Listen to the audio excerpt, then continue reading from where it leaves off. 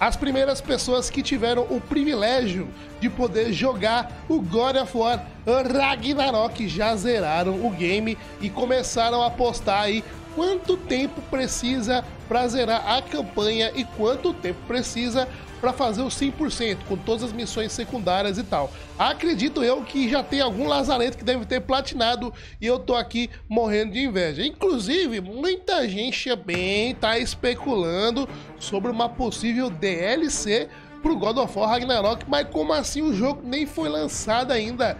Já estão querendo fazer DLC, que papo é esse? Exatamente, vamos falar sobre tudo isso nesse vídeo aqui. Se você quiser saber não só isso, mas como tudo sobre God of War Ragnarok, deixa o like nesse vídeo, se inscreve no canal e ativa o sininho, porque assim o YouTube vai continuar recomendando para você os meus vídeos. Senão eu vou sumir, nunca mais você vai ver os vídeos aqui do canal, rapaz. Você vai perder todo o conteúdo de God of War. Não vai fazer isso, não dá esse, olha, não ramela não. Deixa o like e se inscreve aí, certo? Bom, vamos lá. Os primeiros jornalistas que zeraram o God of War Ragnarok, eu tô morrendo de inveja, rapaz. Porque nesse momento, pensa comigo aqui, já tem gente que zerou o jogo, já deve ter platinado o jogo. E essa pessoa não é eu nem você. Olha só, vai. Ai, como é vida. Enfim, né? Eu tô com a esperança de que o meu God of War Ragnarok chegue no dia 3 de novembro. Se não chegar no dia 3 de novembro, vai ser só no lançamento. E aí o que, que resta para nós? Não tem como fazer vídeo de curiosidade, nem série, nem nada. A gente vai sair atrás mesmo. Mas tudo bem, a gente vai fazer tudo isso depois, né? Enfim, é o que, é o que resta. E aí a gente vai fazer o que? Live infinita aqui até zerar, até platinar esse jogo. Mas não é sobre isso.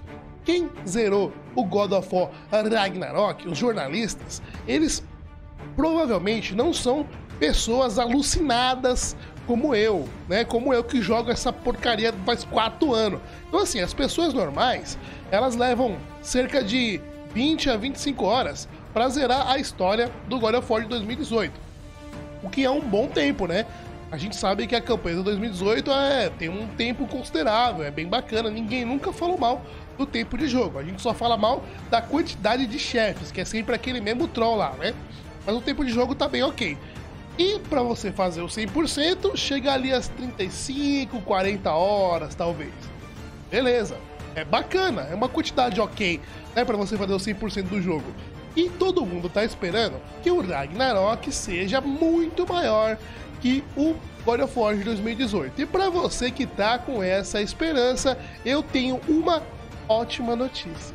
Porque quem zerou o jogo já e fez o 100%, disse o seguinte: presta atenção, hein, rapaz. Quanto tempo leva para zerar somente a campanha do jogo? Lembrando que estamos falando aqui provavelmente jogadores casuais, como é a maioria das pessoas, né? Então, só para zerar a campanha do jogo, a galera tá levando cerca de 50 horas, ou seja, o dobro da campanha do 2018. Imagina você chegar, jogar lá do comecinho em Midgar com o Cleitão e com o troncão nas costas, chegar lá em Jotunheim, jogar as cinzas da mulher e ali é apenas a metade do jogo. É exatamente isso que os caras estão dizendo que é o Ragnarok.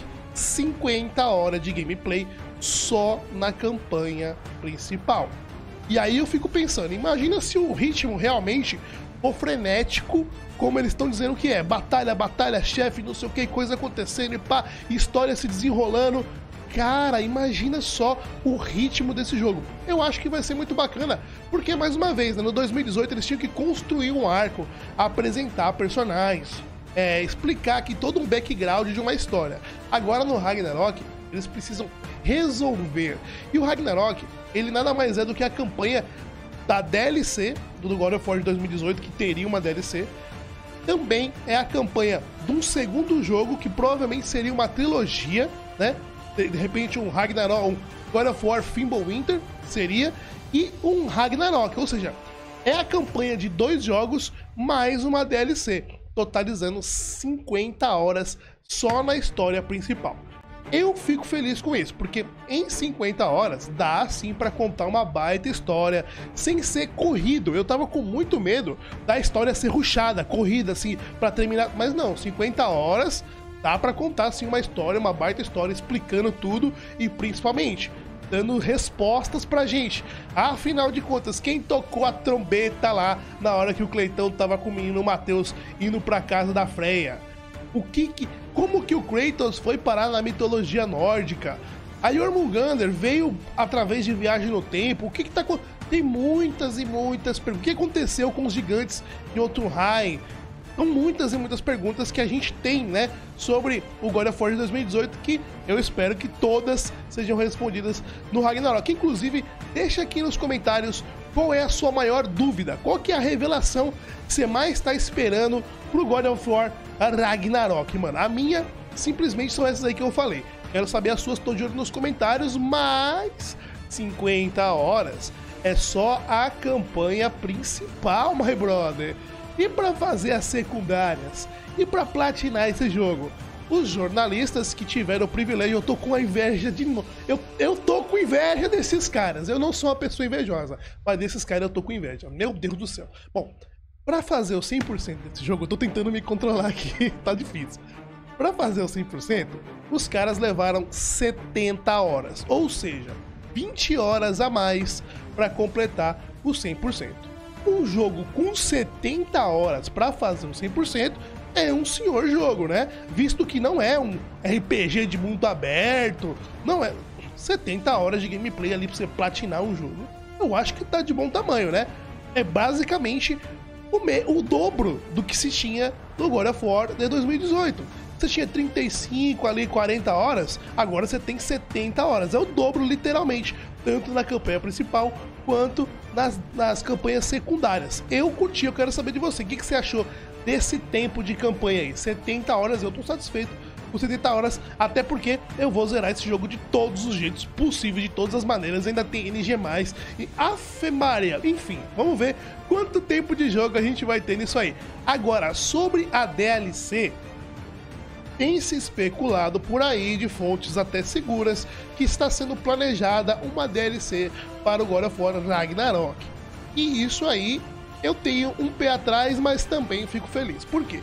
No God of War de 2018 era para ter tido uma DLC, sim, mas essa DLC foi transferida pro God of War Ragnarok. Isso é uma notícia bem antiga, todo mundo já sabe disso.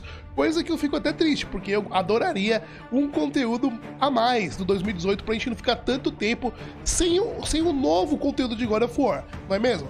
E aí, a Santa Mônica, a Santa Mônica, Santa Mônica, a Santa Mônica leva basicamente 5 anos para produzir um novo God of War, segundo eles mesmos. Então, tendo uma DLC, de repente ali lançando daqui dois anos uma DLC, eu acharia muito legal, porque manteria o jogo vivo e estaria até meio que próximo ali na metade do caminho para um novo lançamento. Seja um novo God of War ou qualquer outro projeto da Santa Mônica, né? Eu adoraria que tivesse mesmo uma DLC, desde que ela seja muito boa. E o questionamento é, pô, é o Ragnarok. Acabou ali a, a mitologia nórdica. Então uma DLC do quê? Eu acho que poderiam fazer uma DLC contando como que o careca albina foi parar no, na mitologia nórdica. Eita, minha voz tá falando, gente, é porque eu tô meio resfriado, tá? Mas de qualquer forma eu tô gravando aqui para vocês. E desculpem por essa voz anasalada aqui. Eu adoraria ver uma campanha do Cleitão lá no Egito. Igual a gente viu na HQ, eu queria que aquilo fosse jogável. Seria maravilhoso. Uma, ou seja, uma DLC contando antes. Como que ele saiu lá do God 3, passou pelo Egito, chegou na mitologia nórdica, como que ele conheceu a Laufey, tudo o que aconteceu ali naqueles 115 anos que ele tá na mitologia nórdica, até chegar no momento que a Fei morre. Eu adoraria uma DLC com isso eu acho que isso é sonhar demais, né? Seria muito mais fácil eles soltarem uma DLC de personagens que aparecem no jogo. Por exemplo, uh, o Tyr, aquela guerra dos gigantes com, com o Thor, o, o Odin e o Tyr, podia ser em torno daquilo ali. Ou uma DLC jogando com o Atreus, por que não? Pode totalmente viável, por que não, né? Assim, eu, eu tenho a especulação de que eles fariam uma DLC é, voltando, né? Não, não pro futuro, porque acabou a mitologia nórdica. Mas eu quero saber a sua opinião sobre isso. Curtiu o tempo da campanha? E sobre a DLC? Ah, tem mais um detalhe sobre a DLC, hein, mano? eu não gosto muito de DLC com pouco tempo de jogo. Por exemplo, se eles lançam a DLC daqui seis meses, quer dizer que eles já tinham esse, esse conteúdo pronto, tiraram do jogo e colocaram como DLC para farmar dinheiro. Aí eu vou voltar aqui o pistola e vou bater na Santa Mônica. Coisa que eu realmente não quero fazer. Eu realmente estou botando fé na Santa Mônica, acreditando no trabalho deles. Acho sim que eles podem estar tá desenvolvendo essa, essa DLC e ela vai sair daqui um ano e meio, dois anos, assim. Aí beleza, eu vou ficar muito feliz. Mas se for daqui seis meses, é sacanagem, né, velho? Farmar dinheiro em cima de nós é sacanagem. Mas por enquanto tudo é especulação. Não vamos sofrer aqui antes da hora. Vamos só esperar e aplaudir. Deixa o seu comentário sobre a sua opinião Quanto a tudo isso, me segue nas redes sociais, porque agora eu vou ficando por aqui. Não esquece do like e a gente se vê no próximo vídeo. É nóis!